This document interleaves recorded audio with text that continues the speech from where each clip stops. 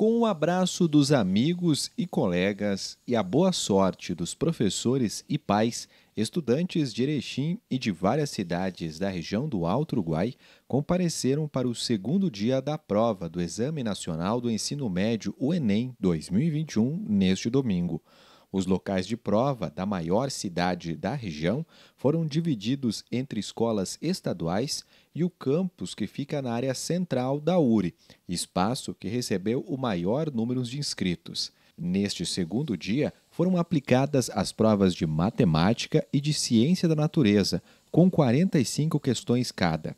Em todos os locais, a entrada dos participantes ocorreu de forma tranquila e não foram registrados atrasos. O Enem seleciona estudantes para vagas do ensino superior públicas pelo Sistema de Seleção Unificada, o SISU para bolsas em instituições privadas pelo programa Universidade para Todos, o ProUni, e serve de parâmetro para o Fundo de Financiamento Estudantil, o FIES.